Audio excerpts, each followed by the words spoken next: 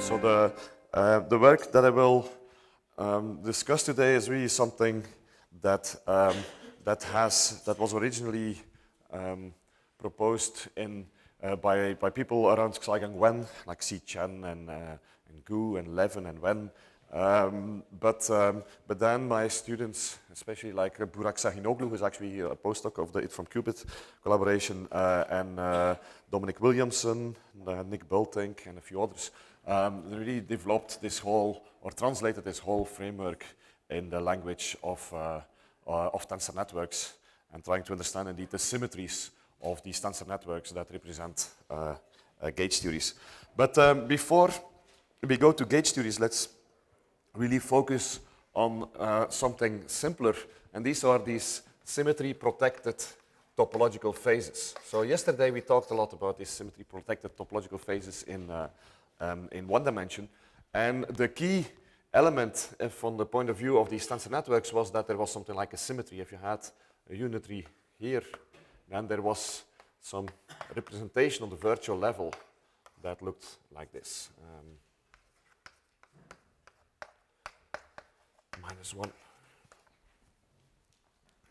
actually, of course, you can rewrite this in a, or let's put the minus 1 here, or uh, yes, let's put the minus 1 there. It doesn't really matter. So, of course, if you look at this, there's a completely different way of looking at this, namely by saying that this x of g is kind of intertwined with this u of g.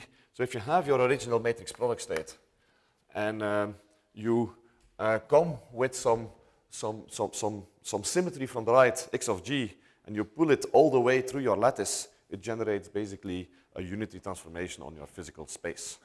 But of course, it doesn't do anything because you have a symmetry. But that's locally somehow what happens is you, you take some object, pull it through your lattice, because of course you have a whole matrix product state that goes all the way from the right to the left. And every, every time you kind of pull this x of g through this a, uh, you get a unitary on the lattice. So what is the generalization of such uh, a thing to the two-dimensional case. So, so for this, you need um, a generalization of this fundamental theorem that we talked about yesterday for matrix product states. So let's focus on the, uh, on the two-dimensional case. So um, in this particular case, we have like our matrix product state. And uh, let me kind of pull this like this. So, so what you have is really this kind of tensors, and you have to fill, this is the physical system, and then you fill your full lattice with objects, with tensors like this, and this gives you indeed the square lattice. And um, what you would expect is that the generalization of this picture would give you something that looks like this. That if you act with a u of g here, that there is something like an x of g, x minus 1 of g, maybe a y of g, and a y minus 1 of g.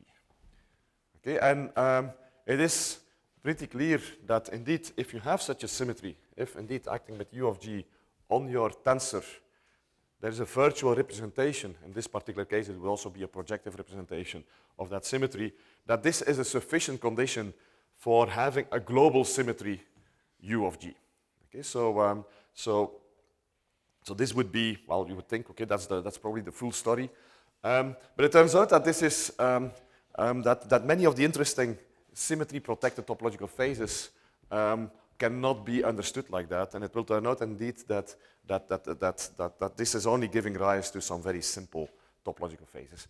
There is a, there's a different, so, so again, why, why is this sufficient to have a global symmetry? Well, you have this u of g acting here, so you would have, let's say, a different u of, you would have the same u of g acting here, and then this thing would bring a y of g here, this thing would bring a y minus 1 of g here, and they would cancel here.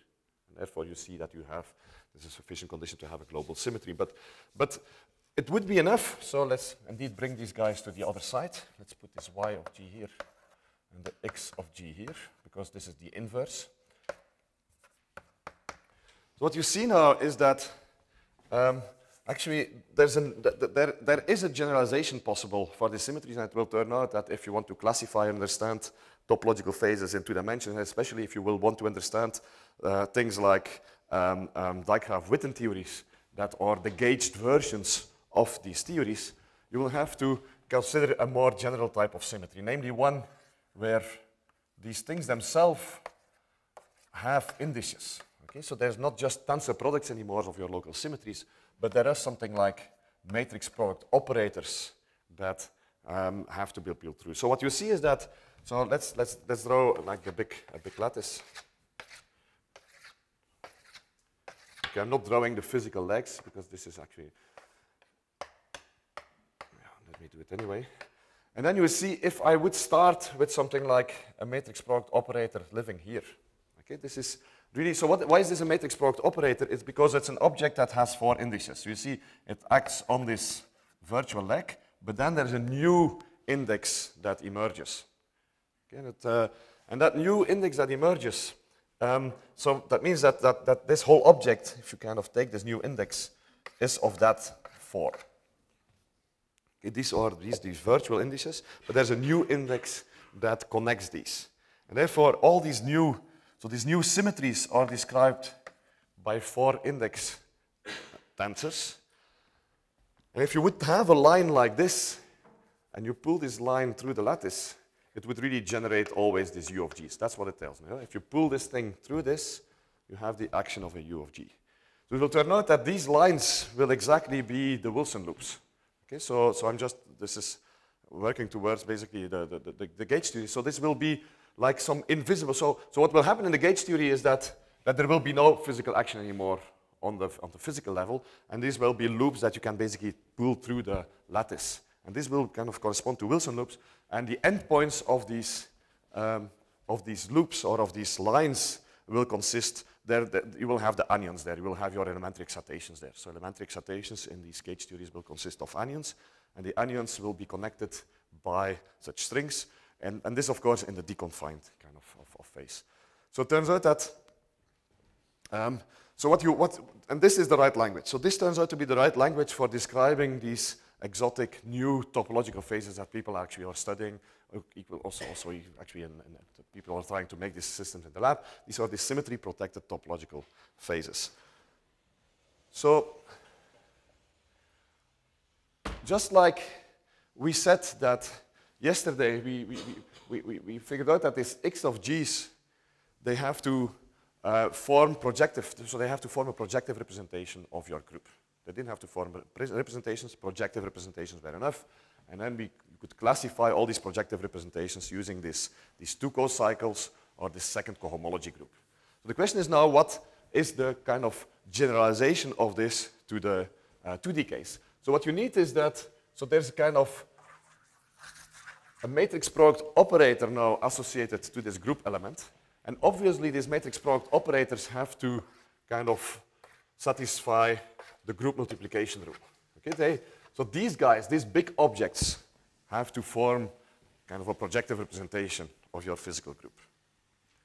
So what you will have is that, so if you have such a string, it corresponds to, let's say, a symmetry G1, or the symmetry element G1, and you have another one, G2, and I'm always assuming here that these loops are closed. Okay, so there's really, I have to, so because otherwise, so you have to imagine that basically your system is defined on a torus, or on a, on, on, on a sphere, it doesn't really matter. But these matrix product operator symmetries, they're always kind of closed. So there's, there's like, so this you have to identify this index always with this index. Okay, so this is index as we identified with this one, this one is with this one. But what you want is that indeed these matrix product operators form a representation of your group or a projective. And um, now it turns out that um, this fundamental theorem that we used yesterday can immediately be used now also to try to find all possible solutions of what are these tensors, what are the possible tensors that kind of has to satisfy this. So, so given a group, you can ask now the question, what are all the possible matrix product operators that would give rise to representations of that group independent of the length of these matrix product operators. And this will turn out to give you the full classification of all these kind of SPT phases. Just the question, given a group, find all possible matrix product operators that form a representation of this group. And again, why is this called a matrix product operator? Matrix product state is basically some object like this, when you only, has, only have indices below, but now we have below and above, so that's why it's kind of an operator instead of uh, a vector. Okay, so what is this fundamental theorem telling you? So remember, we said two matrix product states are equal to each other if and only if they are related by such a gauge transformation?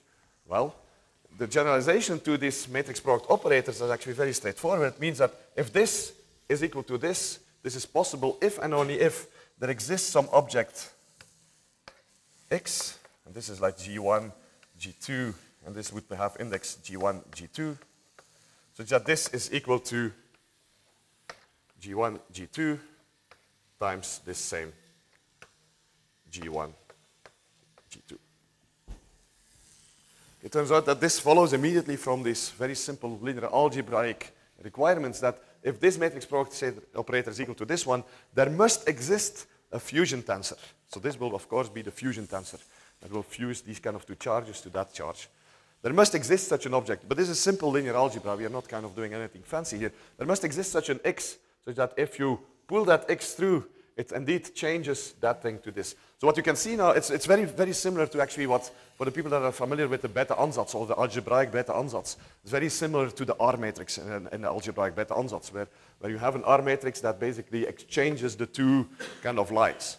But in this particular case, it's not exchanging, it's really fusing. So this is like the discrete version of, of somehow the, the, the, Bethe ansatz. So if you put an X here,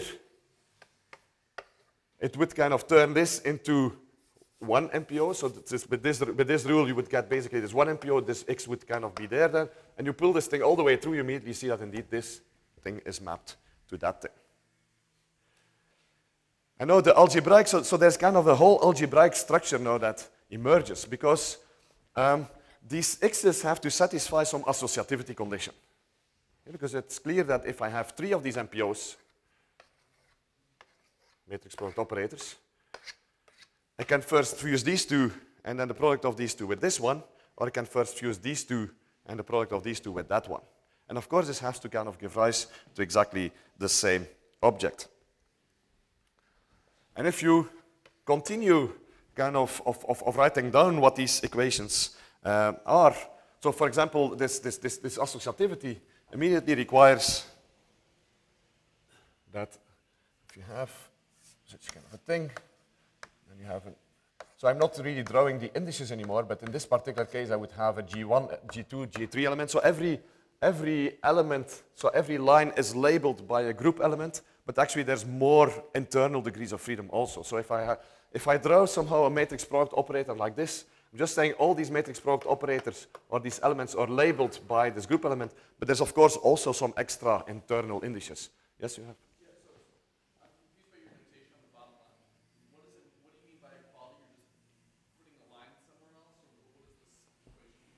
Which one? This, this one here? The, the, the number of lines is the same. So here I have one matrix product operator. And then, and then this is a three-index tensor. And here I have two of these, but they are contracted. So there's basically one line here, two, two outgoing lines, one line. So the number of indices is conserved.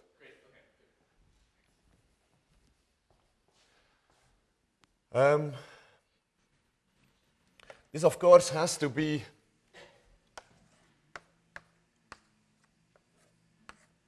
Okay, this basically is a way of decomposing. Now, using these rules, there's also an inverse, and so further you start decomposing the product of three matrix product operators to each other, and you get a structure like this. But of course, this has to be equal to uh, this thing.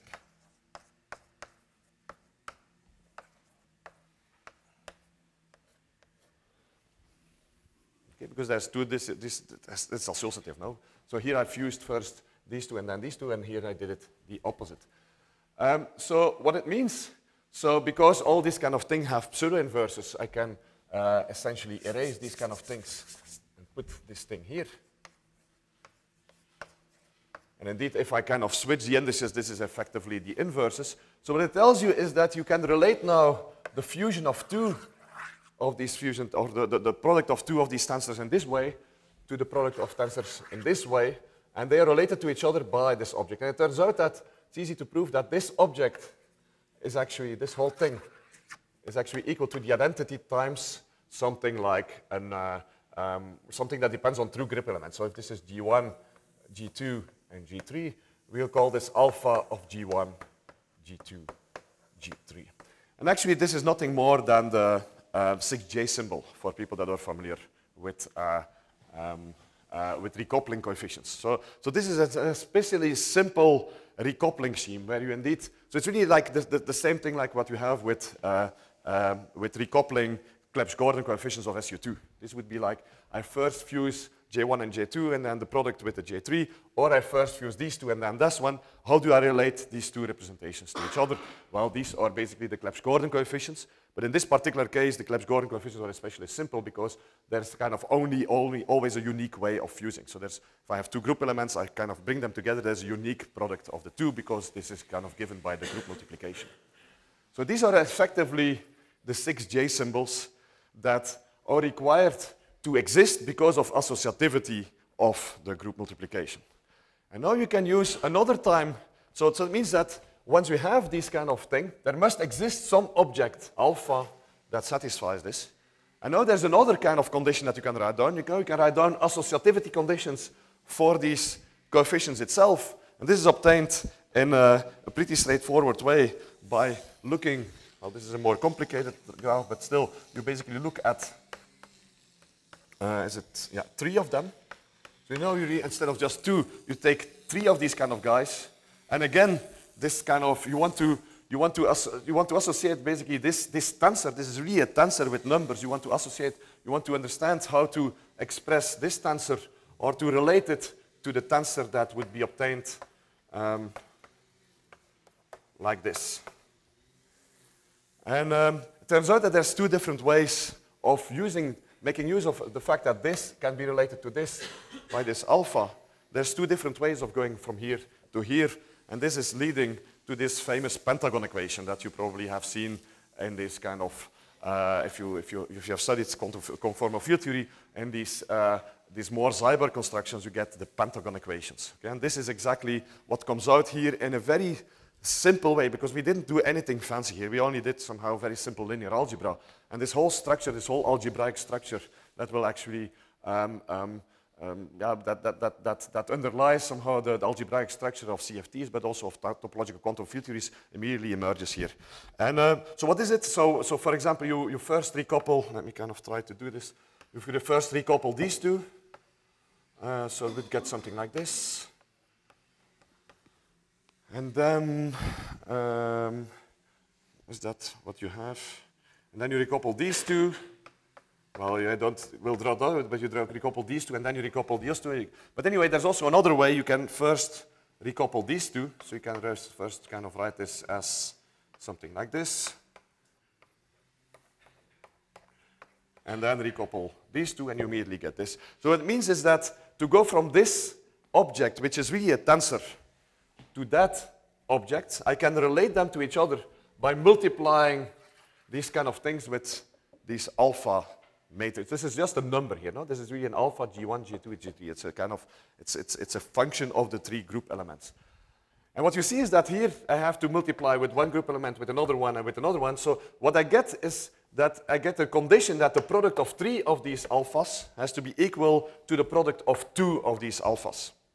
Okay, so I get some equation alpha times, uh, so if, if you write it out in, in, uh, uh, in uh, complete generality, you would get something like alpha of group elements A, B, C times alpha of A, um, I have to be careful, B, C, and D times alpha of B, C, and D.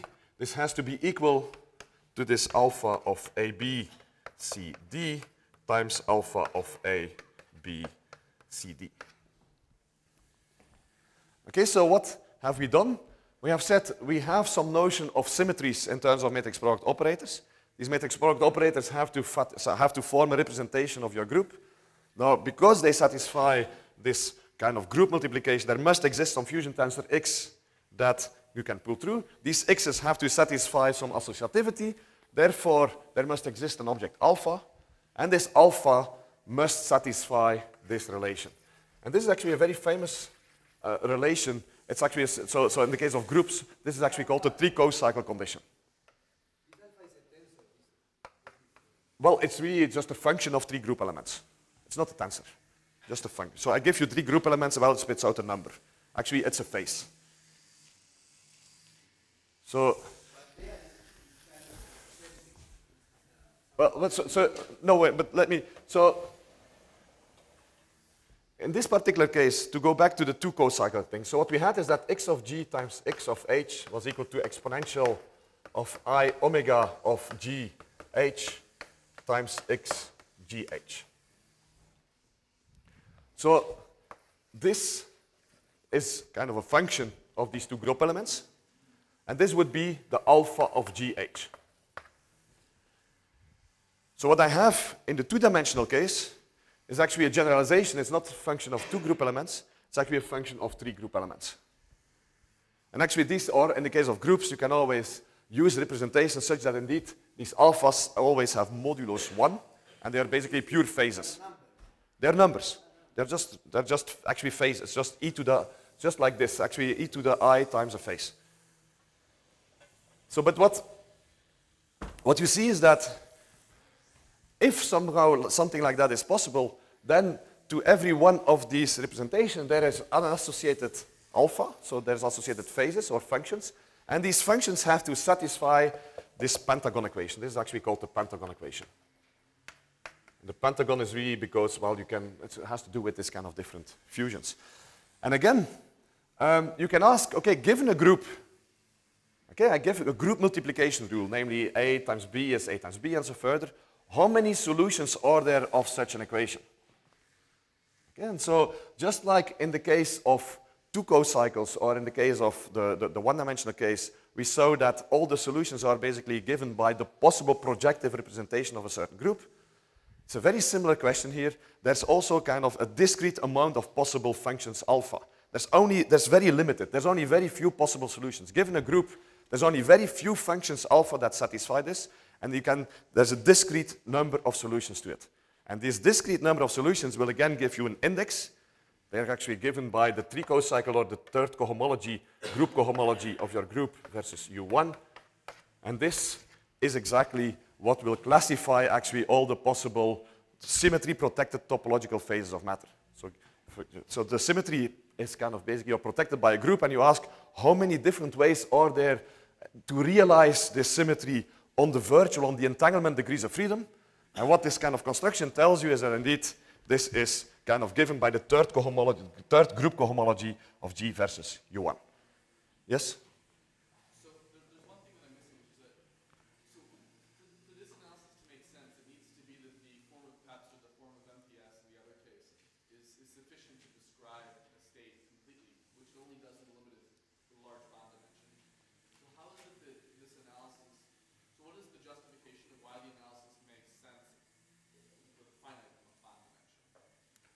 but, but, uh, but, for exactly the same reason that it works for matrix product states. No? So it's, it's really the, the, the idea is that um, if you increase the bond dimension, that the only thing that happens, so you don't, you will not, so that, that so you basically tensor these representations, these, these x's with some kind of an identity that acts on these other degrees of freedom that take care of the correlations and so further. But the, this is basically what is happening. So even if the bond dimension is, is very large, it would basically be a tensor product of such a representation times the identity. Yes, exactly. So this is the kind of giving the, the, the, the, the essence. And um, turns out, of course, that this is, so we, we, we, certainly didn't come up with this, with this classification. People like uh, Wen and uh, Xi Chen and uh, and uh, quite a few other people, they realized that indeed this third cohomology, that third group cohomology is the right way of classifying uh, symmetry-protected phases in two dimensions, namely for the interacting case. So this is really the generalization of... They do it using quantum field theories, and I don't really understand their constructions. But they, at the end, their conclusion is indeed that the third cohomology is this. But what you see is that indeed this comes out very, very naturally if you start considering PEPS wave functions and the symmetries of these wave functions described by matrix product operators. Okay, so, um, so the interesting thing is, of course, now that, that, that you immediately see that these, these matrix product operators are, are not just, well, the symmetries of your tensor network, you can pull them through, but of course they will also completely um, uh, characterize the symmetries of the edge modes. Okay? Like we said, if you have a PEPS, then the, the edge of a PEPS or the boundary modes you can have, get a natural Hilbert space for these kind of PEPs. And if the bulk has a symmetry given by such matrix product operators, then the effective Hamiltonian describing the edge modes will also have such matrix product operators. And there's a beautiful theorem of Xi Chen and collaborators. that tells you that if you have a matrix product operator symmetry for a one-dimensional system, so you have a Hamiltonian that actually commutes with such a non-trivial solution of the third cohomology or this third cohomology. There's trivial solutions, but there's also many non-trivial solutions. If you have such a matrix product operator that is generated by a non-trivial co-cycle, and your Hamiltonian, your one-dimensional Hamiltonian commutes with it, then it has to be um, critical or kind of really gapless. It has to be described by a CFT, or it has to be symmetry broken. It cannot be gapped. It cannot be in a gapped phase. And that's really seems to be some um, some lattice version of Witten's theorem that tells you that if you have some non-trivial topological quantum field theory, that on the edge you will have kind of the edge modes will be described by CFTs. Okay, so this is really following pretty in a pretty simple way from the fact that indeed you can show that it's impossible to have a matrix product state, an injective matrix product state with such a matrix product operator symmetry. Okay, because if this, is, this leads to a contradiction, because somehow you would never get a non-trivial co-cycle condition. It's really a, a, pretty simple construction, but I think this is still, this, this, this kind of theorem of Xi is actually pretty deep. It, it identifies really non-trivial symmetries that will enforce gapless edge modes.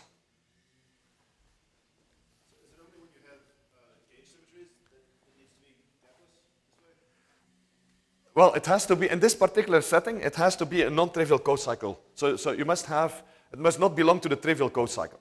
Okay, so there's of course a trivial solution to these equations, namely alpha is equal to 1. But then there's non-trivial solutions. And if it has a non-trivial solution, then you know that actually your edge modes will be gapless. And that's of course the signature of all these so, uh, symmetry protected topological phases.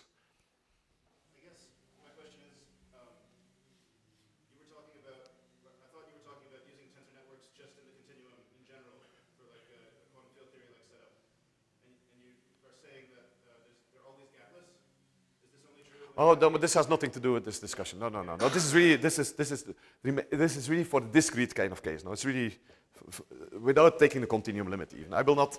So actually, uh, yeah, I will not talk about continuum limits today. I, uh, uh. Uh, uh.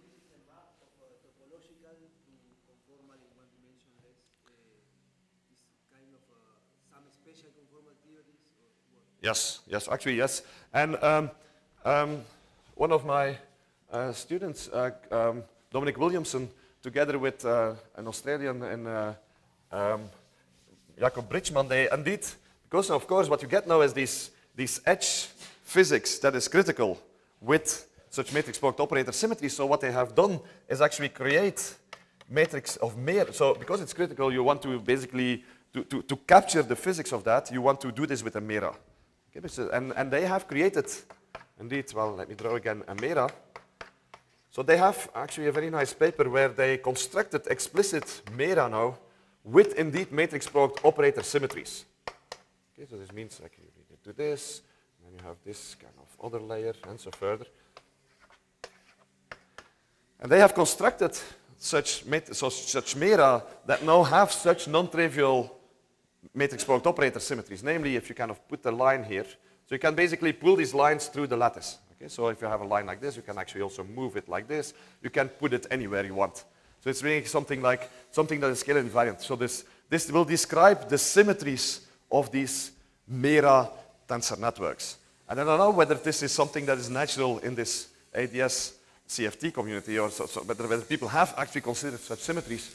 Uh, but these are really the symmetries that are kind of enforcing the, the, the, topological content. Okay, these are the symmetries that will that, that, that, that, that will kind of enforce. If you know the symmetry, you will know, ah, I'm in that phase. And it would be very interesting to see. Actually, I, I would find it interesting, indeed, whether such, a, such, such, such matrix product operator symmetries appear in any kind of natural way in these ADS CFT constructions uh, using the Mera tensor networks. Okay, so. Um, um, you can actually construct pretty easily now, given this uh, framework, once you have a solution, once you found a solution of this three co-cycle condition, such an alpha, you can actually easily construct actually a PEPS that will have this symmetry. And the way you construct this um, is actually by, well, let's, let's, so, so it's actually, the, it's, it's simpler to do it on the honeycomb lattice. So if you have a honeycomb lattice, you basically have tensors that look like this, and then like this. So you really kind of do it on the honeycomb lattice instead of the square lattice. And you just have to, if you look at one of these kind of guys that has a physical index, turns out that you have to basically double all these indices. You have to, well, that's the simplest way of, of actually constructing such a, such a PEPS where these indices, so this index is actually equal to this index. This would be a G3, this would be a G1 and a G2. So all this line would basically be one index, this would be one index, this would be one index, and this thing would basically be this alpha of G1, G3 minus 1, G3, G2 minus 1, and G2.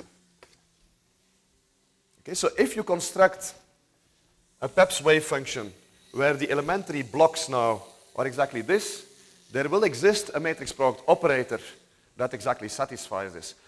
And the interesting, it's interesting to actually look at this because indeed what you have is basically this times this. So pulling through will mean that I have this matrix product operator such that this is equal to this. So what you see here is that indeed I have something like a connection here, a connection here, and a connection here. So this is actually the product of three numbers. This will be the product of two numbers. There's a very simple way of choosing these matrix product operators also as a function of these alphas, such that this equation is itself the three co-cycle condition. And that's how you construct all these examples. And this will actually be exactly how all these Dijkgraaf-Witten models are also obtained. Okay, so what we will have to do, the only thing we'll have to do now is take these models here, these SPT phases, symmetry protected topological phases, gauge the symmetries, because these are only protected by the symmetry, but we will kind of gauge the symmetries. You will get a gauge theory, and that will kind of give rise to the gauge theories that somehow are really kind of having a true topological order, not just protected by the symmetry. Um, so one of the one of the really important, actually, um, um, reasons why we are interested in tensor networks and these symmetries is that once you have these symmetries and you start deforming your or perturbing your theory away from some simple kind of renormalization group fixed points from, from kind of trivial phases because actually all construct all these this, this PEPS wave functions using this construction, you, you don't really get uh, an, an, interesting correlation length. But if you start out of adding correlation, perturbing the, the theory, then typically you, your Wilson loops are kind of not very well defined anymore. You have to fatten them. Okay? If you kind of adiabatically kind of go from one theory to change your theory, you have to, your, your Wilson loops have to, has to be fattened such that they remain exact Wilson loops. The amazing thing is actually that these tensor networks, this is not happening. These remain exact symmetries because these are not symmetries on the physical level. These are symmetries that live on the correlation degrees of freedom. Okay? And um, a phase transition for example. Or, so these symmetries will remain exactly intact in the whole phase. And a phase transition will actually happen when, these, when there's some kind of a symmetry breaking happening with respect to these symmetries on the virtual level. Okay, and that's why somehow from the point of view of numerics, and, and this is actually an extremely useful thing, it will, you will have, you have an exact representation of these Wilson loops even away from the kind of trivial zero coupling limit or whatever limit you, you, you can imagine, because these remain exact symmetries. Okay, so let's, um, let's see how we kind of can go to gauge theories now. Let me kind of check the time.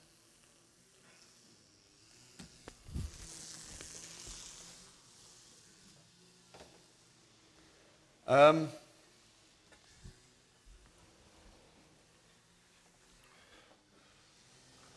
so for gauge theory, so, so basically what we have here is a, is a theory with a global symmetry. Okay, so, uh, so how does QED work? Well, you start with basically free fermions um, without gauge fields with the global U1 symmetry, and then you act, add gauge fields, and you get really your full QED theory. Well, somehow here, you want to do something very similar. Okay, so we have our, our PEPS wave function. Okay, so, so let's draw this again. So we have the PEPS wave function like this. So what we want to do is to introduce gauge bosons. Okay, so we want to make the global symmetry into a local symmetry. So where do the gauge bosons have to live? Well, of course, they will have to live somewhere here on the edges. Okay, so we want to, what we want to do is introduce new degrees of freedom on the edges where the gauge bosons will live. So how will we do this? So it turns out that tensor networks give you a natural way of doing this. So what you will do is actually multiply the original PEPs with something that is called, well, it's like a matrix product operator, but a two-dimensional version of it.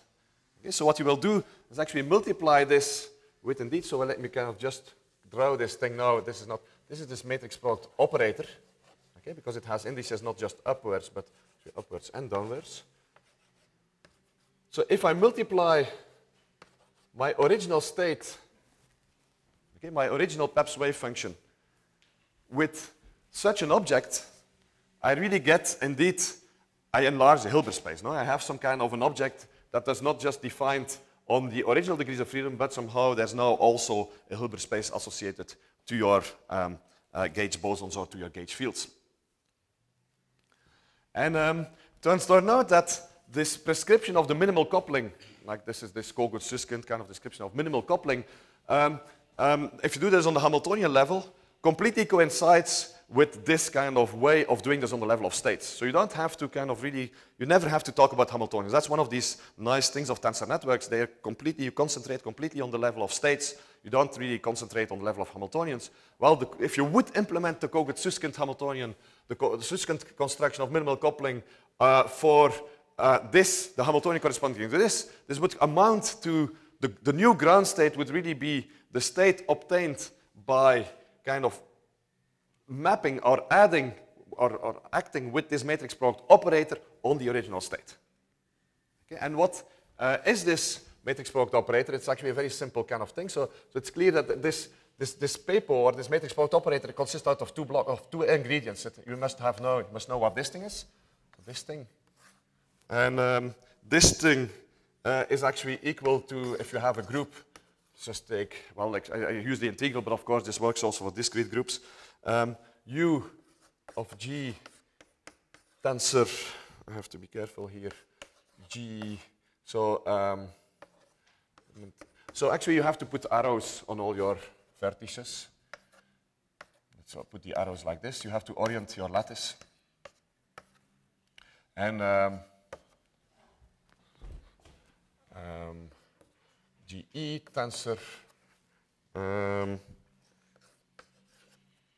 prime elements of the other kind of direction of this. So what you will have is, um, so you have this degrees of freedom here. So this is a unitary that corresponds to your symmetry acting on your kind of physical original Hilbert space. This is what is acting here. But now for this object, I have obviously also four new kind of Hilbert spaces, or the, the, the tensor product of, uh, um, of, of, of, of, these, of these Hilbert spaces associated to these virtual degrees of freedom. And that's why I put somehow these links. And these links will have the property, so for these G's, I will have something like the left unity representation, for example, left, uh, you will you have a representation of the group. Okay? So for example, if you have a left regular representation acting on this element G, this would give you the element H times G. And if you have the right regular representation acting on G, this gives you G times H minus 1. That's the usual kind of way in which you construct such gauge theories. So what you do is basically introduce new degrees of freedom, and the dimension of that Hilbert space is in some sense the dimension of the, or the cardinality of your group if it's finite. But of course, there's also ways of doing this for continuous groups, and then you have to work with EREP sense of further. But for simplicity, let's just do it for somehow when you have an, the, the regular representations. So what you have is indeed you introduce these new degrees of freedom virtual level. And then there's another ingredient, namely this kind of thing with, uh, that will create the gauge boson. This is actually given by integral over dg minus dg plus. So this will be the g minus will be G plus. And this is this Hilbert space of this new kind of guy, G minus G plus minus 1 times, well, times actually G minus times G plus. And of course, these G's form kind of a complete Hilbert space and or kind of an orthonormal set. So what you see is that I have here kind of a new tensor network that I will act, I will put that thing on top of this, I will contract this, this thing, and I will get a new state that is both defined on the original degrees of freedom, but also has now this new gauge degrees of freedom. And the only thing I had to do is multiply with the tensor network that is, bit is kind of defined uh, like uh, this. Now, it's an easy exercise now to figure out that indeed this new tensor network has lots of uh, non-trivial symmetries. Okay.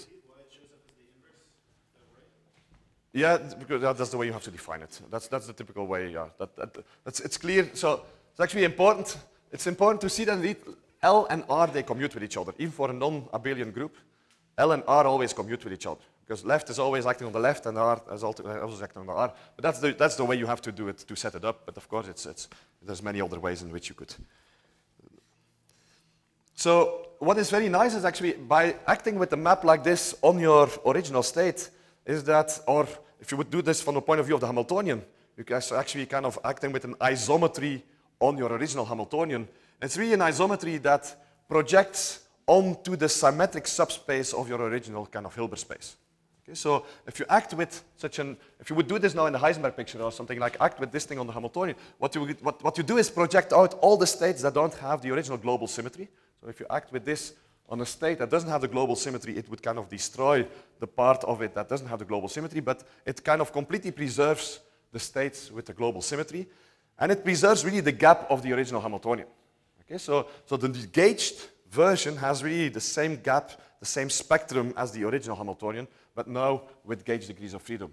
And um, this has actually been studied and uh, used uh, in, uh, in some very nice papers by Michael Levin and uh, Zhang Gu to, to, to basically understand indeed the relation between SPT phases and topological order and anyons and many, there's, there's very interesting constructions. And the reason why all these things work is that indeed such mappings, such gauging maps preserve basically the spectrum. That means that if there's a phase transition in one theory, that has to be a phase transition in the gauge theory. Okay, so you can relate basically SPT phases to, uh, uh, to, to, to, to, gauge theories and, uh, uh, and vice versa. Anyway, so the complete PEPS is now given by something that you would draw like this. No? So we would have this thing, we'd have then this thing on top of it that we put. Have this, this, and then there's this gauge degrees of freedom now that are kind of coming out here.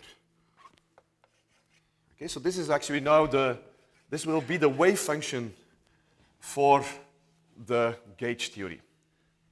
Okay, so if I kind of now concatenate these things to each other, I would indeed end up with something, uh, well, where, with something that has physical degrees of freedom and virtual degrees of freedom.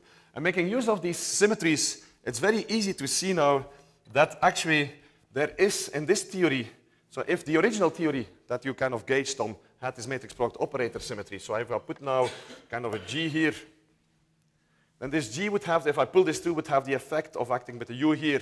But acting with a U here, because of these symmetries, is equivalent to acting with some kind of an RG and an RG here. So it would mean that actually if you act on this, on this link with RG, with R, and here this matrix product operator, this will actually be equal to the same guy, but now the string is pulled through, and you would get R and R. So what you see is that now what we did, what basically gauging does, is lift these virtual symmetries that had some kind of, if you intertwine them with your tensor, you got some kind of an action on the physical level. This action on the physical level is completely gone. Okay, it became somehow a purely virtual symmetry. Okay, because now I kind of have this string, and these kind of other things. I pull this through, and of course, it doesn't change anything at all. There's still these degrees of freedom. It can just pull this kind of through to the lattice, but there's never an action anymore on my physical degrees of freedom. And that's the difference between the gauge theories or somehow the topological phases and the non-topological phases. So what happens now is that indeed this new theory will describe basically all possible, so you will be able to understand topological phases of matter or all possible kind of lattice versions of two-dimensional topological quantum field theories using such constructions. And indeed, if you do this, turns out that actually there's a, if you, if you really do this construction, um, there's a, so normally the, the, the, next step is then to, use, to choose a gauge. Okay, so if you kind of, of, of, of read kind of the papers like, like the, the, the, original Fradkin, Shenker constructions or something like that, what you do then is choose a gauge for, because the, the, there's a gauge symmetry in this theory. So instead of the global symmetry, know, you have a local symmetry, and local symmetry, well, maybe I should show this, this, this, this local symmetry is actually very simple. No? It's really that if I have this, um, if I have this, uh, this object, this, this, this one tensor here, okay, this one tensor that I have here is really invariant, uh, and I put somehow these legs also here and there and there and there, if I put a U and an R and an R and a, I think, and a left and a left, this thing is invariant under that symmetry. Okay, so that means that it's really kind of became a local gauge constraint. So your global symmetry has become a local symmetry. And, um, um, but, but now you can basically fix the gauge. And what fixing the gauge means in terms of these tensor networks is actually that there's now a very simple quantum circuit that you can do. You can namely do somehow controlled gates. You could do something like, if this would be qubits, you would do something like CNOT gates that act from your virtual degrees of freedom, or from your gauge degrees of freedom on your physical, or your, on your matter field. So these are the gauge fields, these are matter fields. And this low depth quantum circuit would completely disentangle the matter fields. That's basically what, if people kind of engage with it as uh, we choose a gauge, well, in the terms of, this, of these tensor networks, it's really just kind of acting with a low depth quantum circuit on your state that completely disentangles all your matter fields from your theory. And you're kind of stuck with a complete gauge theory, a pure gauge. It's actually not a gauge theory, but you're stuck with a Hilbert space that only consists of your gauge degrees of freedom. And actually, um, simplest example of such a construction that you might be familiar with is, of course, the toric code. Okay, the toric code of, uh, uh, of Kitaev uh, again. So uh, lots of these works that we talk about here have been inspired actually by, by the original works of, of, of Kitaev and topology. So the reason that people are very excited in understanding all these topological theories is that they will allow to do topological quantum computation. But uh, I don't know whether I have time to, uh, um, I was planning to kind of talk a bit about this, but I don't think I will have uh, much time. But anyway, what is the simplest realization of this? Because that might all seem very abstract. What is the simplest realization of this is really starting with, let's say, a state with the global symmetry. Let's take a PEPS with bond dimension 1. Okay, so it means a product state. Okay, so let's really start with an original state psi is equal to, let's say, the, um, um, the plus state, or let's just take actually the spin up state. Okay, this is a very simple state. Okay, it actually has a global symmetry. Okay, it has the global symmetry, namely the, so in some sense what we are interested in is something like a Hamiltonian that would be the sum over i zi plus some epsilon times some xi, xi plus 1, or xi, xj. So this would be like really the Ising model in two dimensions. But let's make actually the interaction strength zero. This is just a very, very simple theory. Okay, I just have, this has of course uh, a, a, global unity. It has a, Z, a, a Z2 symmetry, namely can multiply somehow. The global symmetry is really the product of all Z's. This is the global symmetry. And a particular PEPS with bond dimension 1 is just the product state. If you do now exactly this procedure like we discussed here, I have a global symmetry. I can basically gauge it and then disentangle my matter fields. This exactly gives you the toric code. Okay, so the toric code is obtained by starting from a product state. So that means that actually the SPT analog phase of the toric code is really the product state. So it's a kind of a trivial phase.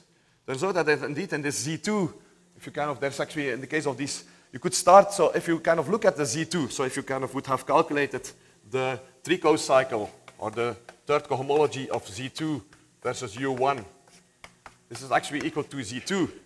The trivial case in that SPT that you would gauge would exactly be this one. And this gives rise to the toric code, if you gauge it. But the other one is actually non-trivial and gives rise to the double semion model. Okay, so this is gauging of somehow this, uh, this, this theory that actually has a matrix product operator symmetry um, gives rise um, to this double semion. And this is actually one of the simplest Dijkgraaf-Witten theories. Turns out that all the Dijkgraaf-Witten theories in this two-dimensional case can be constructed like this. So you have some kind of a group. You start with an SPT phase, a solution.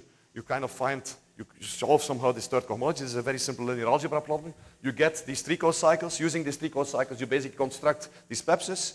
You gauge these pepses, disentangle the matter fields, and then you get your pure kind of Dijkgraaf-Witten gauge theories. And this is a pretty general construction uh, that works for any group.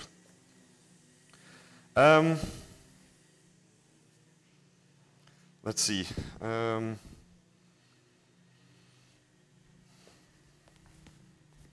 so from a more abstract sense, so the, the essence is really that topologically ordered systems are obtained by looking at local symmetry. So, so what happens now is that, so this unitary is gone. It turns out that the different phases or different topological phases of matter in 2D um, are all completely characterized by, or the, at least a very large class of topological field theories, namely the, the ones that are not chiral. I will kind of explain this later why chirality is an issue, but somehow the ones that correspond to uh, this Turai Viro construction or basically the string nets, they are, they, they, are all, they can be completely understood in terms of PEPS tensors that have such a symmetry with respect to such a matrix product operator. And what are the, um, the, the, easy, um, um, the easy, interesting um, features now that uh, you, can, um, you can study using such matrix product operators? So the first thing that you can do is actually understand this notion of topological quantum entropy. Okay, so there's this, this, this topological, um, um, sorry, this topological entanglement entropy. Okay, so the topological entropy, topological quantum entropy, uh, top, topological entanglement entropy is actually a very interesting notion. It means that if you have a big many-body state and you calculate the entanglement entropy of a certain region A versus B, and you really have a topological quantum field theory that describes this, then the entropy, the entanglement entropy, or the entropy just of rho A, will be given by a constant times basically the boundary of A minus the log of some kind of something that's called the quantum dimension. It's actually gamma. And gamma is equal to the square root of the sum over i di squared with di, the quantum dimensions of the anyons of your topological theory. This can immediately be understood now in the language of these matrix product operators. Okay, because if you have a PEPS, and it has indeed this virtual symmetry, it means that if you kind of have, well, let's, let's draw this tensor network. So what I will have here is this symmetry, let's say for this region. I will know that if I put this matrix product operator around it or not, this will not affect the physics because I, I can contract this and it will kind of annihilate itself. So that means that the entanglement entropy of this region will not be given by counting how many legs are there here on the outside, because there's a symmetry of these degrees of freedom. Namely, this, all the physical Hilbert space of these edge modes must have this matrix product operator symmetry. Okay, so that means that indeed, these matrix, operator, matrix product operators, they characterize exactly what subspace you have support on. And it turns out if you do the counting, you immediately get exactly this number. That means that indeed this gives you, these matrix product operators give you conditions that on the virtual level, I cannot get any state that I want. Really, the state that I would describe on this entanglement degrees of freedom has to satisfy the symmetries imposed by these matrix product operators. And these are exactly the ones that give rise to this topological correction, or this correction to the uh, area law for the entanglement entropy. So this was actually also originally de de derived, this, uh, this, this is a very famous paper of uh, Kitaev and Preskill, and actually also uh, a similar paper of Levin uh, and Wen.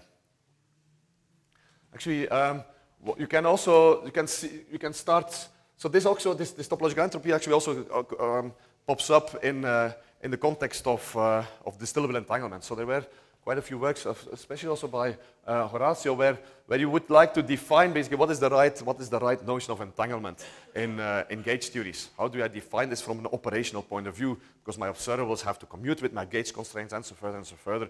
Turns out that if you do the calculations there, uh, this topological entropy will also pop up in a very kind of natural way.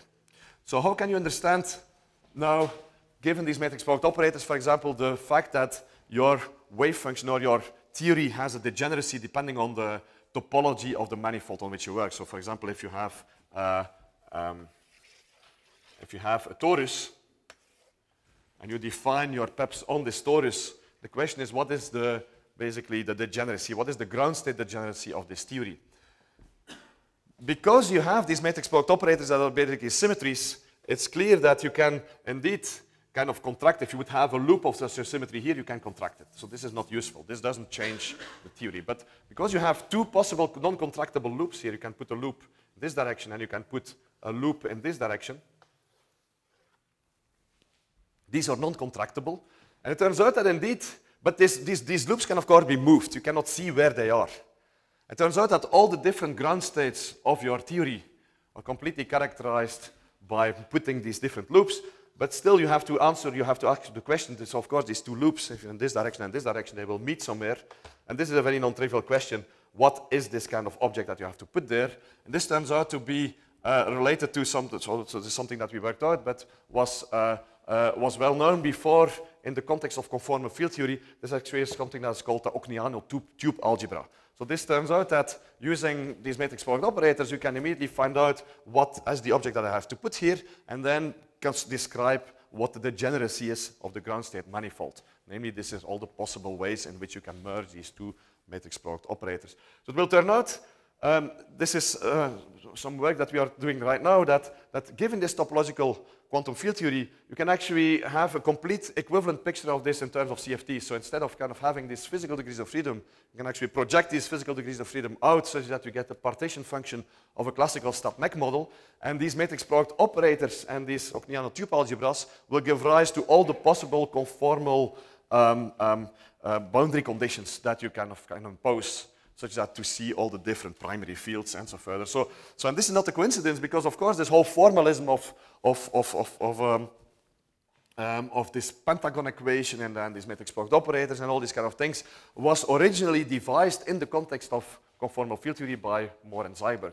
It turns out that actually this, this, these tensor networks give you a direct connection of actually constructing all these kind of things in a pretty straightforward way uh, on the lattice. So for example, what is this S and T matrices, the, the modular transformations that you would do like uh, um, to, to that, or, or, that give rise to also this Verlinde algebra and all this. It's really relating the different ground states why you deform these matrix product operators. So something that's called a Dehn twist would be something you kind of take this matrix product operator and put a twist in it. And you say, if I do this, how can I relate the wave function of that kind of thing to the original wave function? And if you do this, you get basically these S matrices, these T matrices, by rotating this, and this is basically all these modular transformations uh, that uh, can be obtained. We have to stop. Okay, me, okay, so let me, let me briefly, let me briefly kind of sketch how to, uh, how to proceed now. So, so, so like, once you have a topological theory, of course, one of the most interesting features are the, the excitations. What are the elementary excitations in your theory? How can you understand the, the anyons in your theory?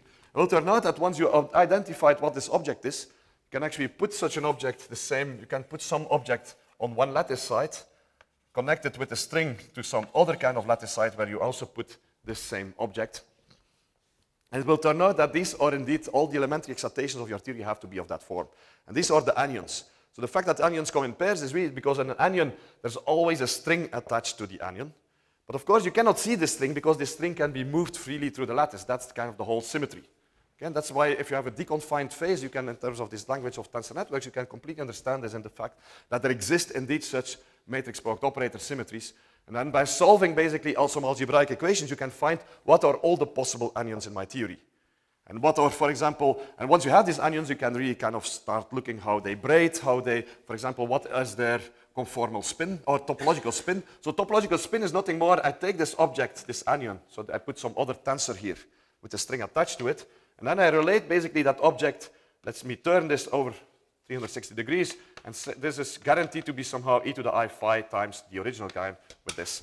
Well, this phase phi will exactly be the, conform, uh, the topological spin, or of course, equivalently for the CFT, this will actually give rise to the conformal spin. So, so all these notions uh, that are actually very cool can, be, can, can, can have a very explicit um, expression or a very simple expression in terms of all these algebras. So all the kind of nice features that you get in gauge theories come up in a very natural way. So um, I think I will have to, to, uh, to, to, to, stop here, but let me briefly comment on what should happen now in three dimensions. So the nice thing of this construction is kind of pretty general, and it really leads to a very natural way of generalizing it to three dimensions. And uh, Burak Sahinoglu, sitting in the back, who is actually an IT from Qubit a postdoc, um, um, has kind of done very nice works in generalizing also this whole construction to three-dimensional theories. okay, where you can actually, where there's much less understood, especially from the point of view of CFTs, it's much, there's much less things understood, but because there's, this whole construction, you never make use of any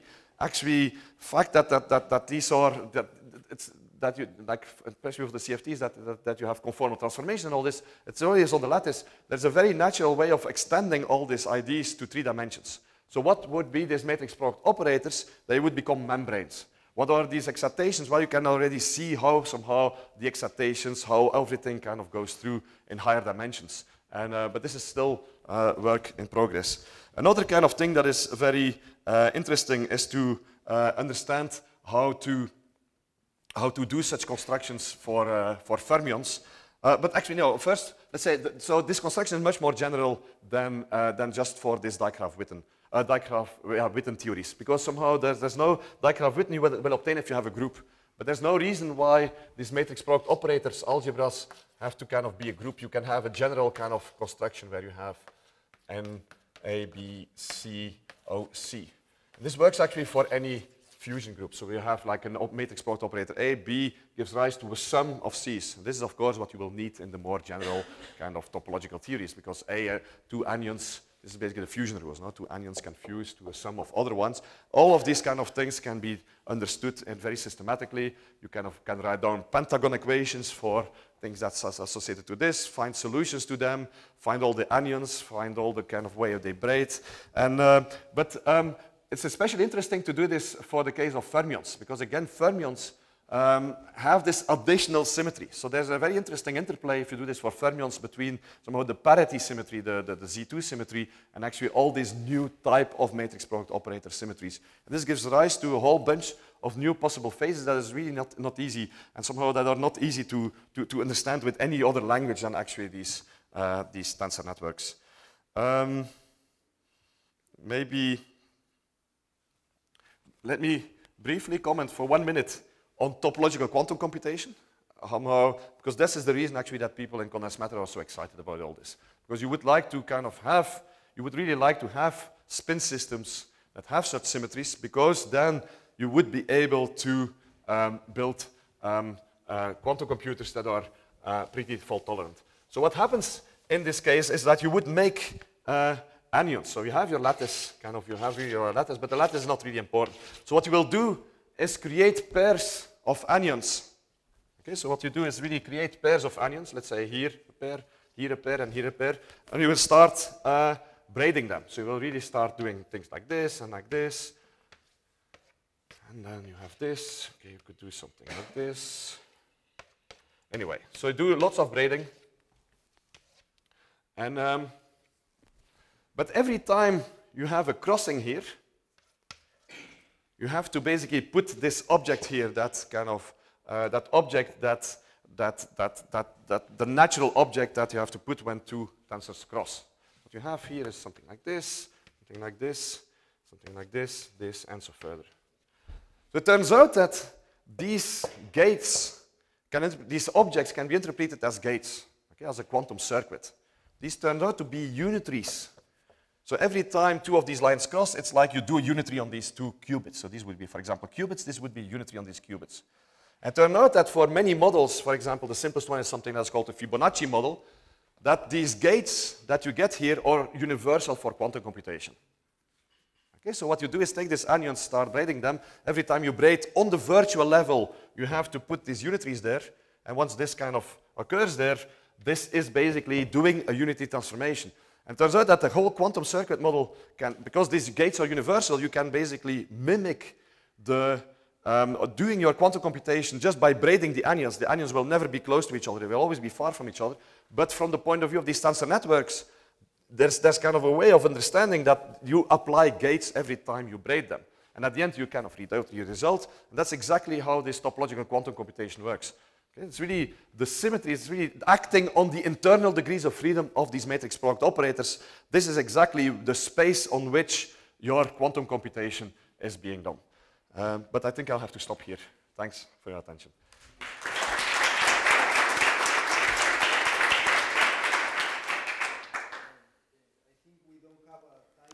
But maybe one or two maybe. questions. Okay. One or two questions because uh, we have to stop uh, earlier because uh, he has to take the plane Well, in, in just uh, an there's hour. no questions apparently. So. Oh yes. Oh no. Some question?